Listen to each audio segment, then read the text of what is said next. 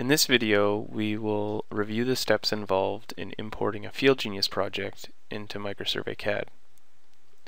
First, I've created a new drawing, and I'm then going to go to the Traverse menu and choose FieldGenius Import.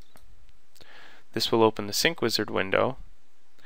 By default, the folder set in the Microsurvey Transfer program as the default download folder will show up here and you may not have Microsurvey Transfer installed, so this folder may not contain any FieldGenius projects. If that's the case, you can simply choose Browse, and then browse to the folder on your hard drive where your FieldGenius projects were stored after you imported them from your data collector. All the projects will be listed below. You can navigate through and choose the one you'd like to import. You can also check on this option to archive the project. And what this will do is after the import has taken place, it'll move this FieldGenius project folder into another archive folder of your choosing, thereby organizing your files for you. And you won't have to keep track of which projects have been imported and which haven't. Personally, I leave this option off as I like to keep all of my FieldGenius projects in one folder and work from there. I'll then choose Next. In this window, we can set that archive location, which I just mentioned, but in this case it's not going to be used. We have a few other options here that we can set for uh, the layering and line work if we weren't using an auto map. But because I have an auto map already associated with this project, I don't need to worry too much about these. I can simply hit Next. We'll then have a review window where we can review uh, the various settings that we've chosen. And when we're happy with that, we can hit finish.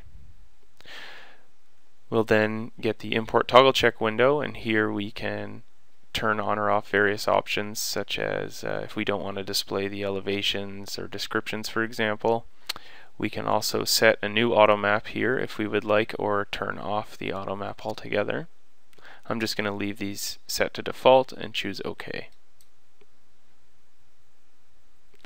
Now we're prompted to create a traverse file. Now in this case I'm going to create a new file, but if I was working in an, an, existing project which already contained a traverse file, I could append this to an existing file which would be listed over here on the right. We can also add some uh, information about the traverse as well. If you don't wish to create a traverse file and you just want to import your points, just choose cancel. And in this case, I'm going to choose OK. We can then see that the project has been imported. All of our points and line work is brought in. If I go back to the Traverse menu and choose the Active Traverse Editor, I can open that up. Now this was a GPS project, so I don't have any conventional observations in my traverse file. If I had completed a traverse, I would have all my observation information in here, and I could make changes to things such as instrument heights. If we're happy with that, we can just close the window.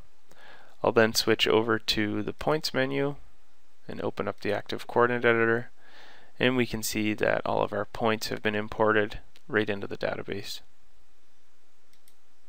If we open up the Sync Wizard option again, it will remember the last used folder, so you won't have to browse to it once again. Thanks for watching.